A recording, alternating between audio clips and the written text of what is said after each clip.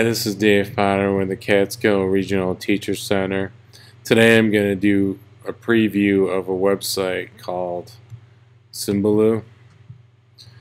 Symbaloo allows you to um, essentially turn your uh, content into tiles online for students to follow. So you can bookmark your favorites, you can bookmark your Google Drive docs, videos, YouTube videos, or any websites that already have content so that you can share them with your students.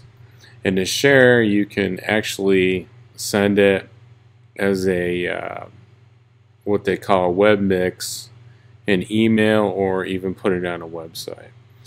So just the introductory site that you see right here, these are all the different tiles that are created with Symbaloo.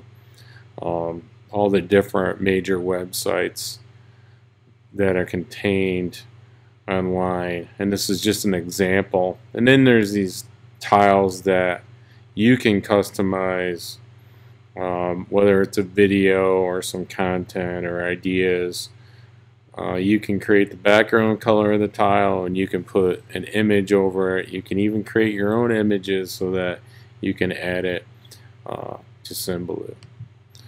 So why don't I go ahead and take you to uh, an example of how it's used in like the blended learning environment or the flipped classroom. So you'll notice their template right here of all these different tiles. So they have blue is the starting piece and then you go down one, two, three, four, five. Um, so what they actually want to do is here's the like chapter one you would go from left to right and then do the assignment and then do the quiz. Uh, this is connected by the way this is connected with New York State Teacher Centers and NYIT through Edmodo. I had to do the certification in order for me uh, to use Symbaloo. Let me show you uh, something I've been working on and, and basically you can group tiles together.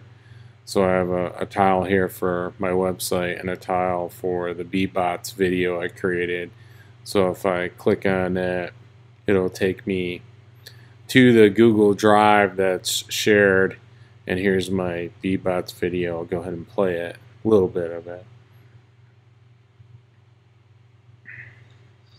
Going to introduce how to use the uh, BBOTS in this particular uh, preview or promotion of workshops for the Catskill Regional Teacher Center.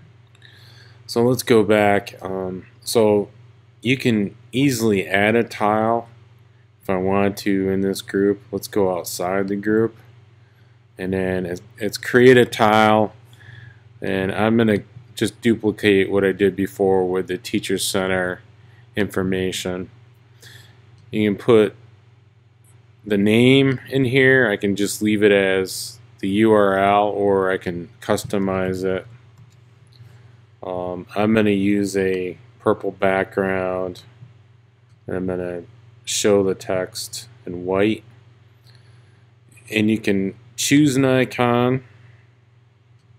So I'm going to go ahead and choose a, a computer. Um, you can choose any different type of style that you want that they have here, emojis, um, and, and basically you're customizing it uh, for your for your web mix. And I'm to go ahead and save it. And there it is. And, and it, I can drag it over here it'll place it into this group, but I'm going to leave it out here for now. I'm going to drag this group over here and this tile over here because I want to show you how you can resize. Um, so here it is, CRTC files. I'm going to go ahead and, and um, do some different things with it for this particular mix. Make it see-through. um, add a marker and then change the size so let's go ahead and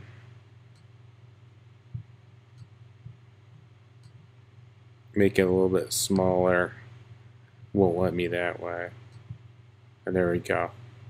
So we're all set.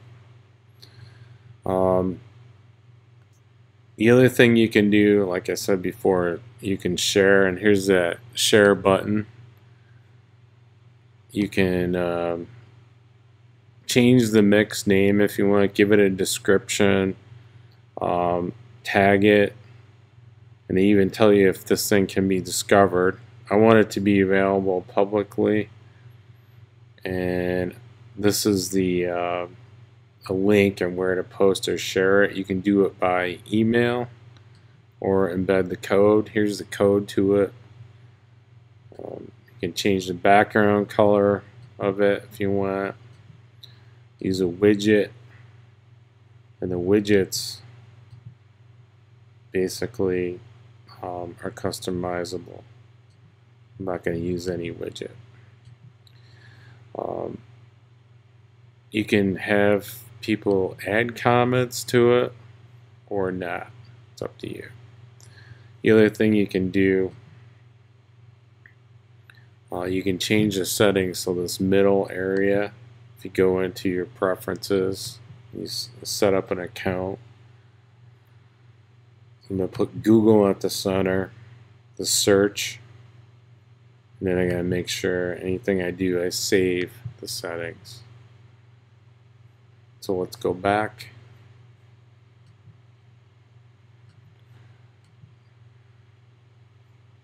And there it is. Basically, it's saved as a Google search. So that's um, Symbaloo in a, in a nutshell. Uh, something to think about and consider if you wanted to add content and you have to create an account. There's pay for and there's free. The free obviously are limited, but this is a good idea for those that want to make their content into tiles online and you can share it to any type of device.